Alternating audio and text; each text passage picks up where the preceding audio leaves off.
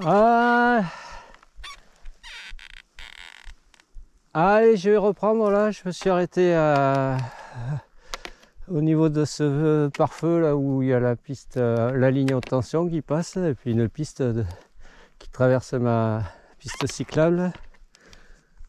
Allez, c'est reparti en direction de Coinsac.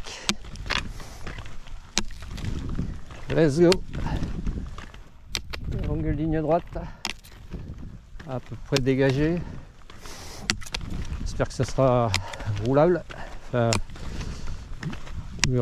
pourrait bénéficier de maximum de glisse. Allez, let's go.